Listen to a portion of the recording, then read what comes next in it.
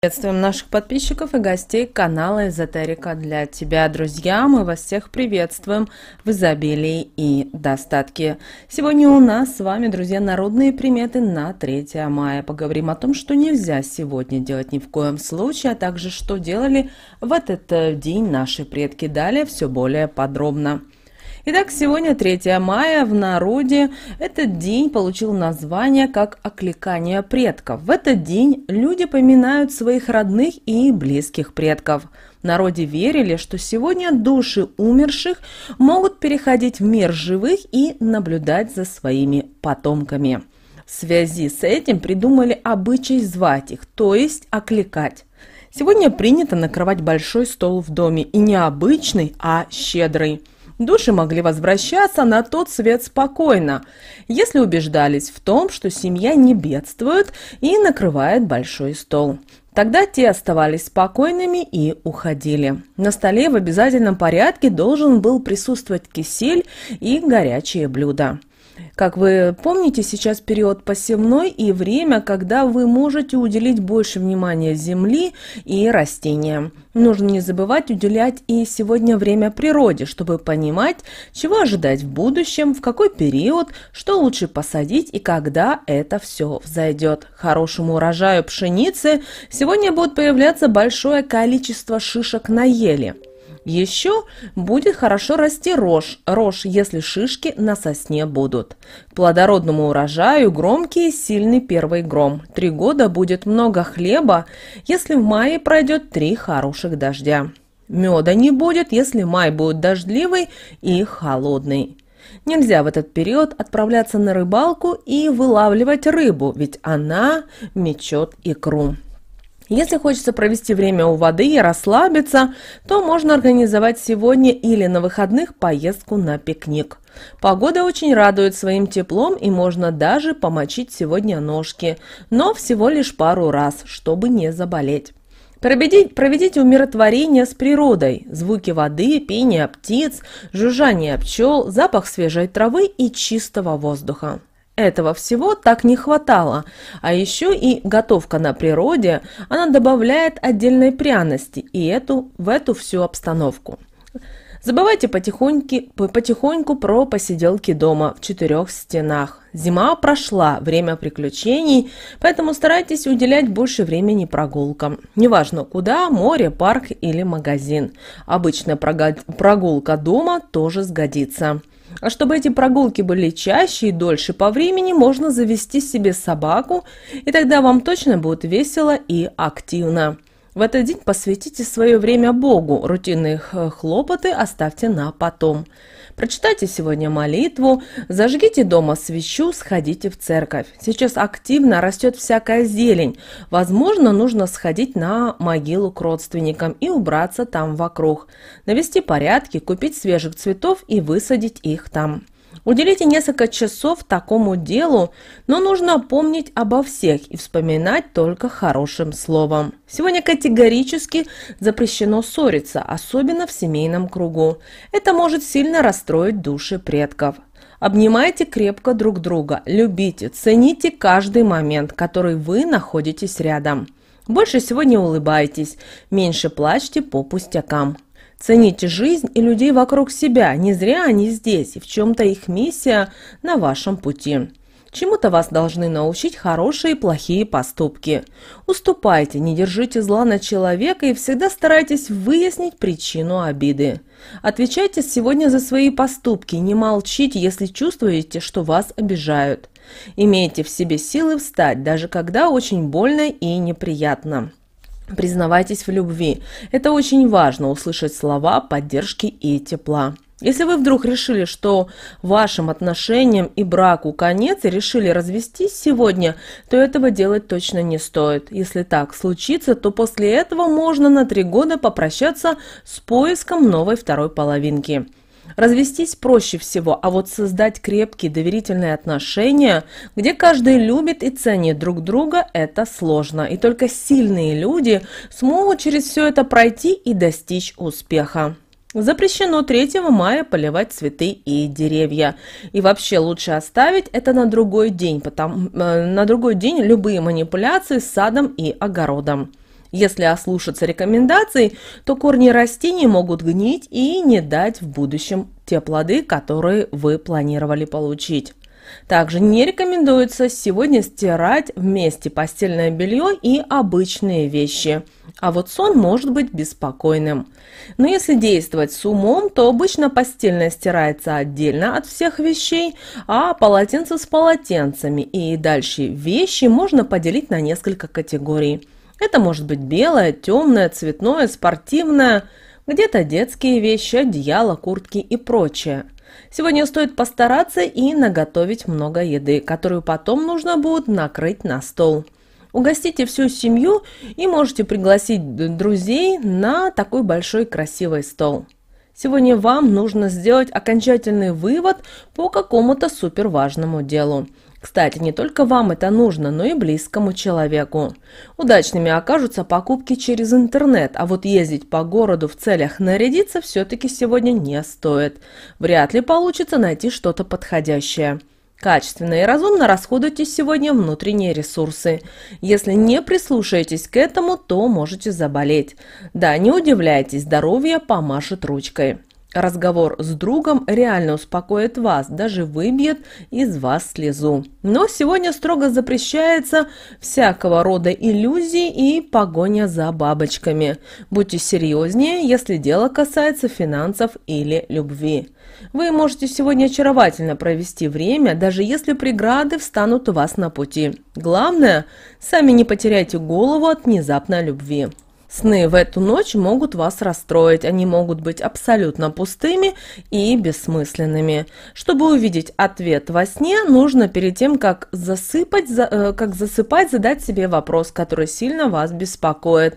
Есть шанс, что ответ будет раскрыт. А после пробуждения сохраните все в тайне и постарайтесь записать все на листе, что у вас получилось запомнить. Ну а именинники сегодня, друзья, Александр, Гавриил, э, Григорий и Вячеслав. В этот день народ также молился и преподобному э, Фомину, который помог, э, помогал избавляться от различных заболеваний. Говорят, что Фомин при жизни своей запомнился и многими чудесами. Он возвращал к жизни тех, кто, казалось бы, уже умер, а также лечил самые страшные хронические болезни. При жизни э, Фомин принимал много людей, которые хотели вылечиться. Он никому не отказывал в помощи. После своей смерти Фомин также продолжал исполнять обязанности лекаря, только теперь посредством молитвы. Вы знаете, э, в этот день была одна интересная народная примета, которая запрещала людям стирать постельное белье. Люди на Руси говорили, что в противном случае будут сниться кошмары, от которых потом просто не избавиться, поэтому нельзя нарушать было данную примету. Э, также, друзья, в этот э, день э, запрещается надевать вещи э, швами наружу, иначе вас могут побить. Ну а если одежда все-таки случайно была надета на выворот, необходимо бросить ее на пол и потоптаться по ней. Тогда драка точно не произойдет. Интересно, интересно что от современных вещей, специально сшитых с наружными швами, в этот день необходимо отказаться, дабы не привлечь к себе беду. В этот день и не рекомендуется, чтобы кошка спала вместе с малышом. Согласно народным приметам, она отбирает у него силы. В это время у народа был еще и интересный обряд, а, как можно было избавиться от болезни. Необходимо было взять из печи горячие угли и из золу, а затем положить их в платок или полотняную тряпочку, после чего приложить к больному месту. Говорят, что лихоманка испугается жара и выбежит из дома. Способов от избавления от этой напасти было действительно много. Среди можно них и отыскать очень простые – для того, чтобы избавиться от болезни, необходимо 12 раз утром и вечером проговорить следующие слова тетки. Лихоманки, вас 12 сестер, идольных дочерей. Отстаньте от раба Божия, называете имя, по сей день и по сей час, и будет вам его трясти и трепать. Я буду просить Матвея Святого, Марка Святого, Луку Святого, Иоанна Святого. Они вас пошлют по пням, по лугам, по болотам, по колодам, где человеческого голоса не слыхать.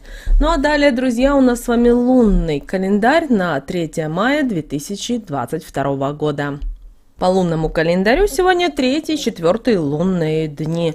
Растущая луна в знаке зодиака Близнецы. С этого дня на небе у нас с вами появляется лунный серп и начинается новомесячье. Энергетически очень день сильный, сегодня можно многое успеть. Рост энергии провоцирует напор и агрессию, поэтому настройтесь на самозащиту и будьте бдительны, чтобы не попасть в число жертв. Также этот день является самым сильным э, по своей энергетике, которая пронизывает все сферы нашей жизни. С самого утра, проснувшись, человек будет чувствовать в себе бодрость и заряд энергии, который очень важно направить в этот день в нужное русло задать ему правильное направление, а иначе проснувшаяся энергия спалит вас самих. Такие эмоциональные всплески могут выливаться в совершенно беспричинную агрессию, ненависть, злобу, жестокость, непонятное раздражение против всех окружающих. Эмоции настолько захлестывают разум, что не каждому под силу утихомирить в себе разбушевавшегося зверя. Если выпустить на волю этого злого духа, можно серьезно покалечить судьбу и себе, и своим близким. Именно в такой день чаще всего происходят серьезные ссоры, конфликты, скандалы, драки. Но все это можно обуздать в себе силой воли, тренируя ее как раз на таких вспышках. Сумейте переключить свои мысли на что-то позитивное, взять себя в руки и не накалять страсти. В этот день будет очень полезно тренировать в себе такие качества, как самообладание, э, осознанность, сосредоточенность и внимание. Обращаем ваше внимание, что сегодня день активных действий, поэтому можно посвятить себя делу полностью с минимальными перерывами на еду и сон. Пассивность противопоказана и даже опасна. Если вы до сих пор мечтали, то сегодня пришла пора действовать. Однако первая половина дня обладает общим неблагоприятным фоном.